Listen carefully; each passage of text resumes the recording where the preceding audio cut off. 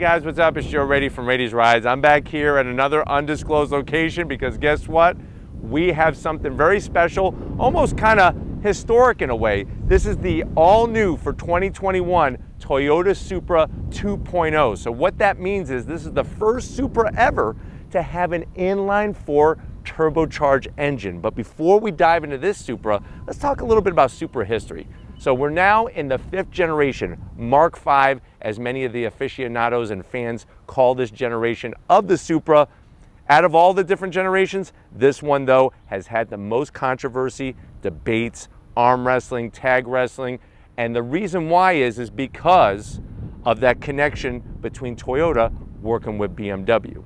Now 2020, the car came to market, had that inline six, that straight six turbocharged engine. For 2021, they actually not only came out with this car, but also upgraded the 3.0 Supra. I'll leave that video at the end of this one, a link to it. Make sure you watch that to see what the changes are for that. But this vehicle here, it's all about bringing that perfect balance of price with performance and the name. And that's the big goal for Toyota is to bring a value to the Supra and to the people that want that Supra name and want the sports car fun. So let's go ahead, dive into this all new 2021 Supra 2.0 and see what makes it such a bargain. Right off the bat, what I love about it is that for the most part, you're not gonna be able to tell the difference to the untrained eye, which I'm gonna train your eyes in this review. To the untrained eye, it looks like a Supra. It looks like the Mark V Supra. So you're gonna get that same headlight design. Really, really love the housing. It's grown on me a lot, especially the way it integrates into that hood area and the side of the front fascia. You're gonna get still full LEDs, LED daytime running lamps, and LED turn signals. Now, the one thing you're also gonna get are those fake vents. So we have the fake vents on the side, half of the bottom vent is fake, and I'm still gonna have to zonk that. It would be nice if they would have went in a little direct, different direction with that material or made them a little bit more functional. But the great news is you're still gonna get that wonderful uh, flat black front lip splitter that sticks out. It's gonna help channel the air down the side of the car, give you downforce, and also get air into the front radiator and intercooler. Now, as we come across the nose, this one, that Renaissance red, really a beautiful color. Love the way the splitter comes all the way across the midsection and just extends out. All that air is gonna get force fed in here. And that's the great news about this car. This isn't about a watered down Supra just for people that want the name. This car, even with the inline four turbocharged engine, is still promising a lot of performance, especially for those hard earned dollars. But from the front of the end of the business, FT1 all the way. That was the concept car where they got a lot of the design from. But everywhere you look, it just has some really, really nice angles.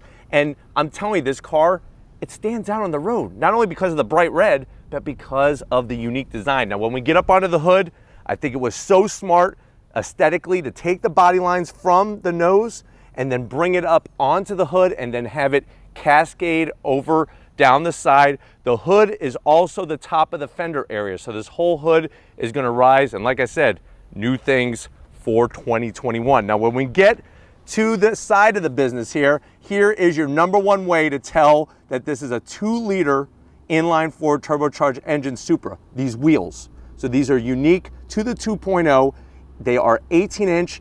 Instead of being forged like on the 3.0, these are cast aluminum. I like the machined aluminum finish some dark gray metallic, and then behind these wheels, instead of having 13.7 inch rotors, you have a 13 inch rotor, all four corners, standard calipers, no adaptive suspension. So that's where they were able to kind of tweak some of the expenses to bring performance, but also bring that value. And if you look, these are still those Michelin Pilot Super Sport tires are gonna give you the stick, going to give you the grip, but also give you the durability. If you're wondering, well, what's the size of this? You're still going to get the same dimensions. So instead of it being a 19 inch wheel, this is an 18 inch wheel, 18 by 9. So that means you have the 255 on the width and then a 40 series sidewall out back. It gets a little bit wider, but let's go ahead and go that direction.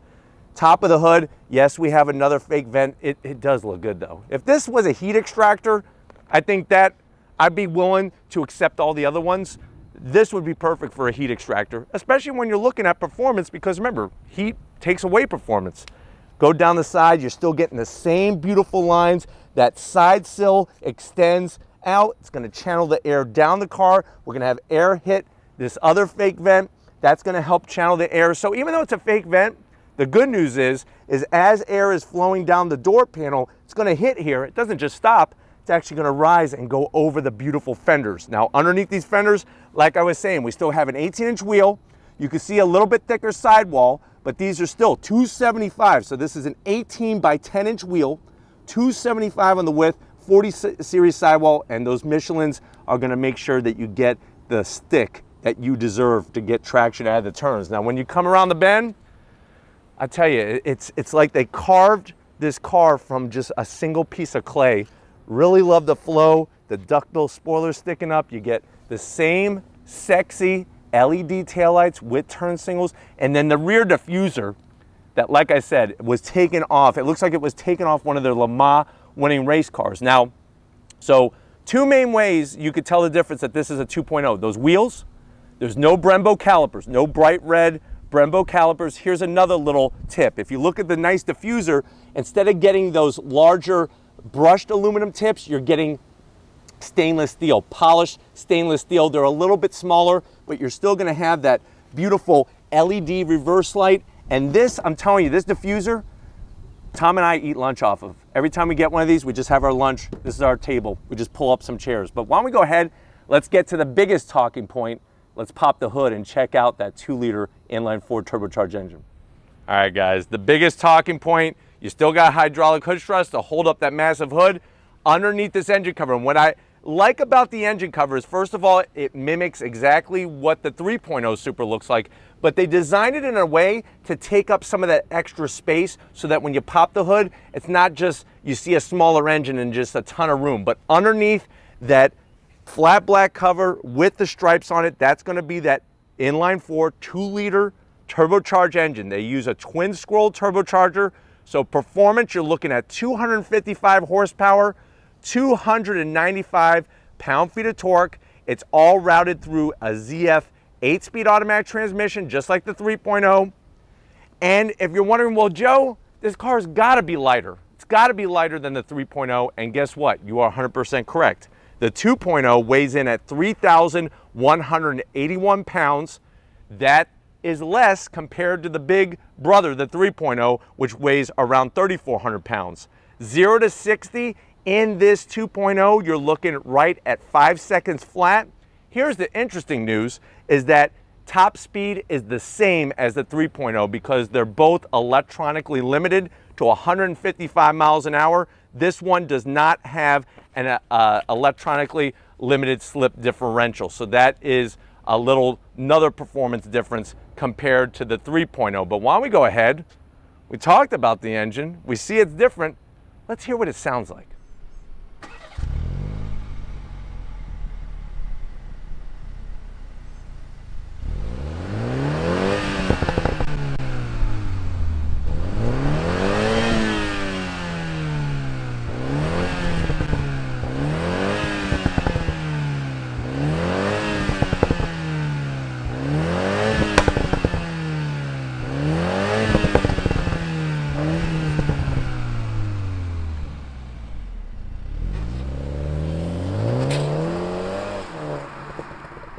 All right, guys, we're inside the all new 2021 Toyota Supra 2.0. I know you want to know, well, Joe, how much is this? You're talking about value. How much is this vehicle? Now, just like with the 3.0 review, because we are the first journalists, auto journalists, to get, to be granted the accessibility by Toyota to review this car, they want us to hold off on pricing information and driving impressions. Now, we are going to drive it and you're going to be able to see this 2.0 rock and roll. You're going to have to wait though for the usual Raiti's Rides on throttle discussion. That's going to come May 13th. That's going to be a totally separate review, totally separate review. And then there's going to be a pricing review in June. So mark your calendars. That's going to be coming. But let's see what you get when we're talking about value in this car. So door panel, same exact door panel as the 3.0. Love the soft material, love the silver on the door handle there. You get great leather with that beautiful white contrast stitching. And I also like the way the gloss black has a nice metallic to it. It really hides the fingerprints. You do have a JBL sound system, but you have less speakers in the 2.0. And then you're getting that same small pocket. It's big enough for about two tacos from Taco Bell. As you come into the interior, because obviously this car is not about the eating, it's about the driving. Dash, same exact layout. So if you got into this car and you didn't know it was a 2.0, so far, so good, they're pretty much the same. Everybody for 2021, I sound like Oprah Winfrey, everybody gets an 8.8 inch infotainment system screen. So everybody's getting 8.8 inches. How often have you ever heard that in your life?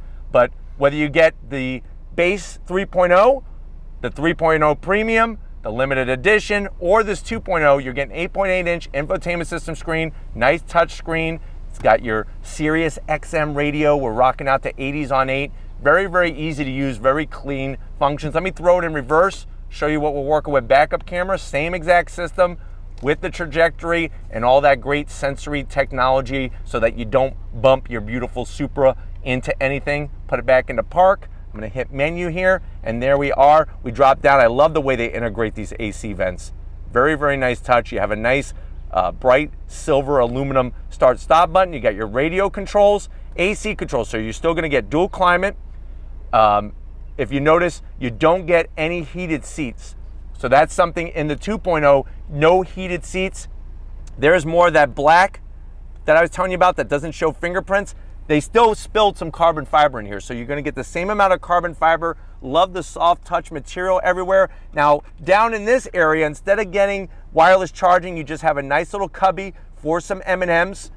You also have a USB and a 12 volt. On the 3.0, uh, premium that is wireless charging, but I love the carbon fiber. This is controlling that 8-speed, that ZF 8-speed automatic transmission. Everything else is the same. You're getting that iDrive controller to go through your uh, infotainment system. You have two different modes. They keep it simple. I like that. Sport and non-sport. So you hit this, you go into sport, the exhaust, it's an active exhaust, it gets a little bit louder. You can off your traction control, electric e-brake. You got your two cup holders, same great armrest, Here's the other big way to tell that this is a 2.0, the seats.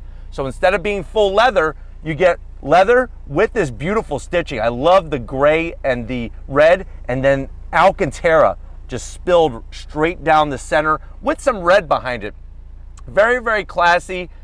They're not electric. So non-electric assist for both the passenger and the driver compared to the electric assist flexibility in the 3.0. But why don't you come over to the business end? I'll show you behind the wheel of this Supra 2.0. All right, guys, business end, behind the wheel. So here are your manual controls. You do have electric, though, to adjust the bolstering, which is great, and also the lower lumbar.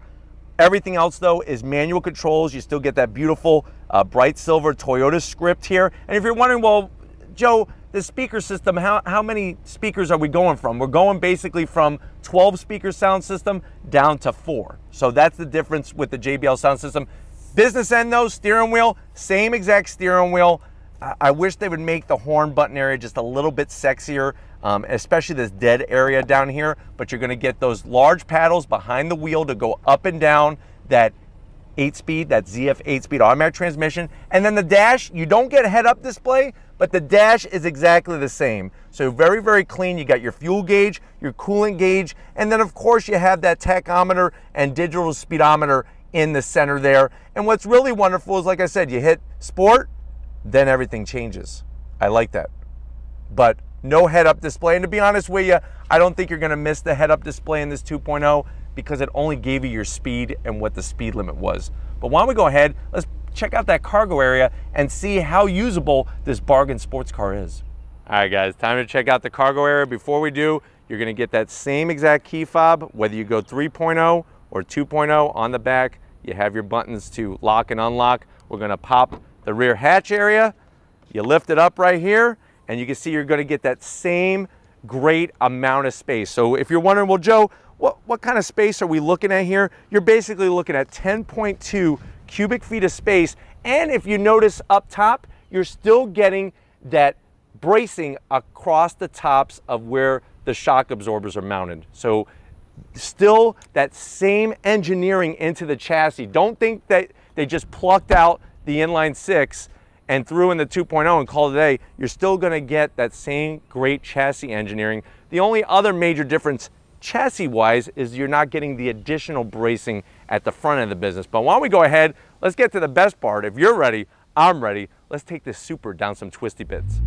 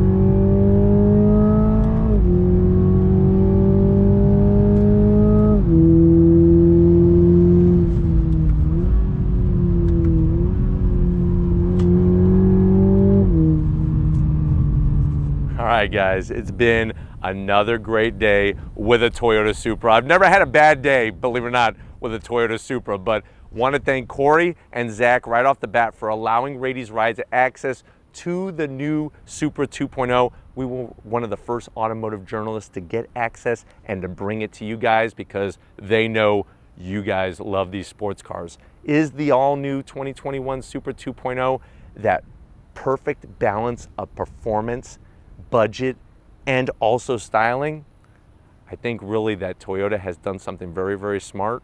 And definitely you want to stay tuned for the two other reviews that are going to follow this one on the Supra to learn about the driving impressions and also hear that pricing.